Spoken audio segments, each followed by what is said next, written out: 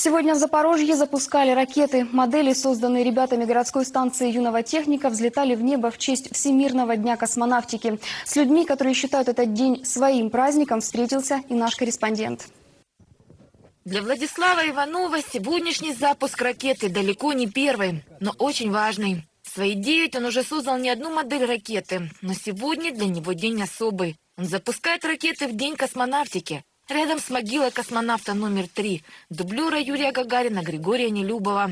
Уже четыре года Влад учится на городской станции юного техника и уже точно знает, как покорить космос. Надо учиться кон- э, конструировать и вначале стать конструктором, обучиться, а потом уже становиться настоящим космонавтом. Ты готов? Я готов.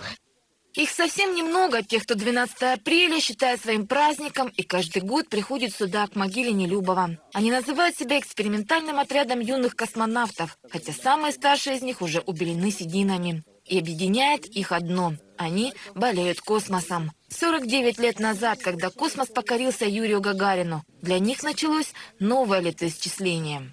Все поняли, что совершилось что-то необычное. Мы куда-то идем вверх, мы идем куда-то в новое, в неизведанное. И вот с тех пор болеем мы все, и я, и вот дети, которые приходят к нам, э, болеют тем, э, чтобы понять, кто мы, что мы, откуда мы и где мы живем, в какой вселенной, понимаете?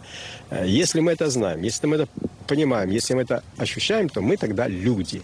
Если нет, то мы просто животные, которые ползают по земле. Мы чувствуем в себе и молодежь, и старички чувствуем в себе вот это вот какое-то стремление, стремление к свободе, стр- стремление к абсолютному пространству, к безграничному пространству, к бессмертию фактически. Без космоса, без э, бесконечного пространства бессмертия быть не может.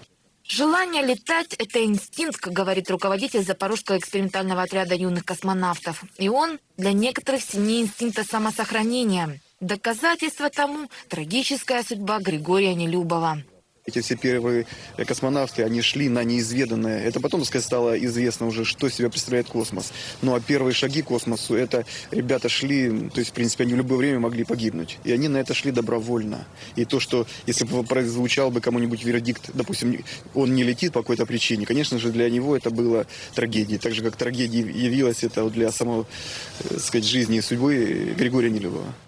Григорий Нелюбов, который мог полететь в космос первым, так и не осуществил свою мечту. Для него это действительно стало трагедией. Но Влад Иванов, который сегодня принес цветы на его могилу, об этом пока не думает и продолжает мечтать о небе и о космосе.